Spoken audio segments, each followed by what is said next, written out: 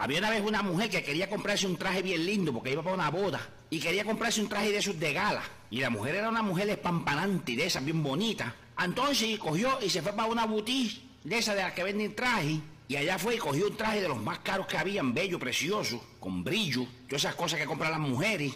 Y vino y se lo puso. Cuando se lo puso en el vestidor, se miró en el espejo y dijo, yo no sé si está muy escotado o no está muy escotado.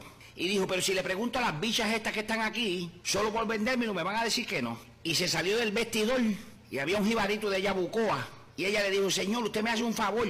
Y él le dijo, claro que sí, señorita, dígame. Y ella le dijo, dígame usted si este traje está muy escotado o no. Y él le dijo, bueno, todo depende. Y ella le dijo, que depende, ¿y de qué depende? Y él le dijo, ¿usted tiene pelo en el pecho? Y ella le dijo, no, no, yo no tengo pelo en el pecho. Y él le dijo, pues entonces está muy escotado. Había una vez un loco que vivía en Ponce y se levantaba todas las mañanas con un saco de sal a regar sal por toda la calle del pueblo.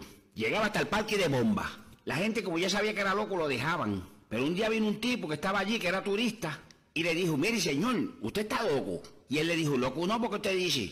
El otro le dice, ¿para qué demonios usted está regando sal si aquí no cae nieve? Y él le dice, no, no cae nieve, yo sé que no, pero esta sal yo la riego aquí para que no vengan los cocodrilos. Y el otro le dijo, pero es que aquí no hay cocodrilo tampoco. Y él le dijo, claro, no hay cocodrilo, porque yo riego sal todas las mañanas. Había una vez dos locos en el manicomio que estaban hablando de los planes futuros que tenían para cuando salieran de allí. Y como estaban locos, uno le dijo al otro, yo estoy juntando chavos desde que estoy aquí.